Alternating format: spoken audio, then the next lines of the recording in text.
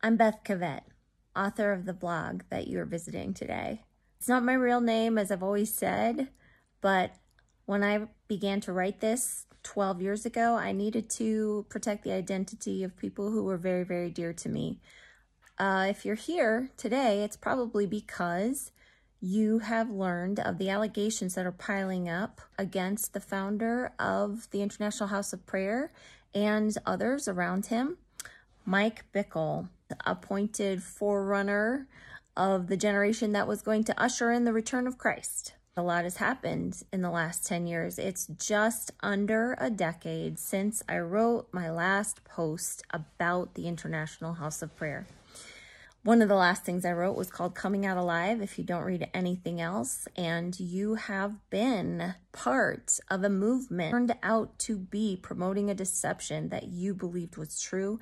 I would recommend, above everything else that I wrote, that you read that post. I want to tell you, first and foremost, a decade out, that coming out alive is not only possible, uh, we are more than alive. We are more than survivors. We are flourishing. Let's talk about the International House of Prayer. Publicly, the allegations against Mike are kind of like a specter, like a monster. It is apparently so much worse than any of us could have imagined. I take issue with that, but I understand the sentiment. The world, or at least a corner of it, is waiting to hear what exactly it is that Mike Bickle and company are accused of. So it is a very, very interesting moment in history, in the history of the church, even touching on the global church, because Mike Bickle's reach has definitely extended into the millions and around the globe. Um, the monster is going to be truly, truly horrifying. So the question, the first question uh, that I think even the media is waiting for is who are the victims? So my answer to that would be everyone, anyone who heard and received in the inner person the teaching of Mike Bickle, particularly if you read my Are You Passionate post, in which he presents a sensual, experiential knowledge, inner knowledge of the man Jesus Christ in the inner chambers. I, I can't, I can't even, it's so disgusting. I can't even, it's easier to write than to say, let's put it that way.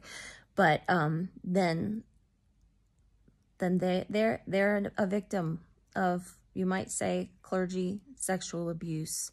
This is why the New Testament warns us over and over. You know anything about IHOP, you know that it is entirely built not on biblical revelation, but prophecy.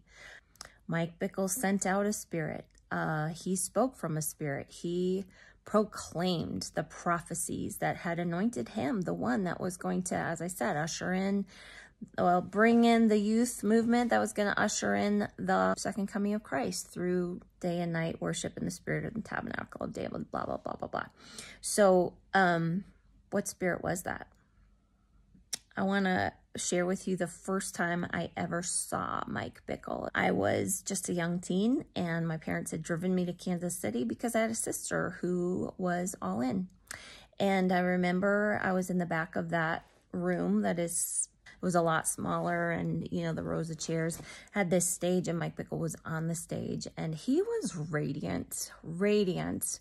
And I watched kind of from the back of the room as my sister ran up, so excited to introduce us to him. And um, he bent down on the stage. She was on the floor. Uh, she was in her somewhere around 20 and um, he grabbed her head with both of his hands and planted a massive kiss on her forehead. They were such shining stars, and it was dazzling, just like Jude says, wandering, wandering stars book of Jude in the New Testament, in case you're not sure what I'm referencing.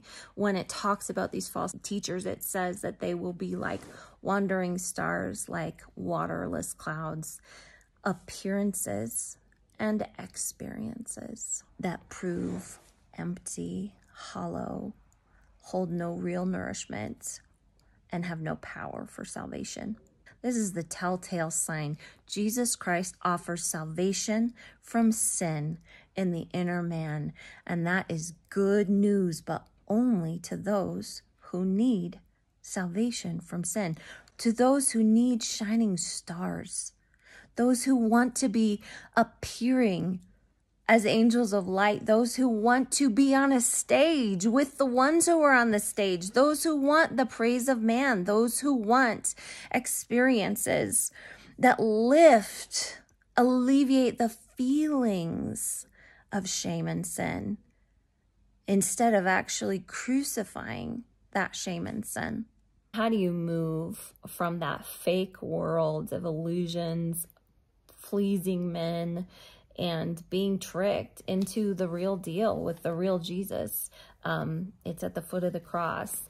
And I would point you in the scripture, the story of the publican and the Pharisee. And if you recall it, the Pharisee is out in the corner and he's praying to God, Oh God, oh God, thank you that I am not like one of those. And he's looking at the publican. The publican is down beating his chest and saying, God, have mercy on me, a sinner. Uh, did you ever notice the special pronunciation for Jesus? There literally is a worship leader with an affectation of a British accent. Like she's from the Midwest. But It wasn't that hard to see. Jesus came for you, not for a show. And his love it is humbling. It is for people who need salvation from sin. It is not for those who are dark but lovely. It is for those who are dead in their trespasses. The true gospel stands in stark contrast to the lover Jesus. God bless you.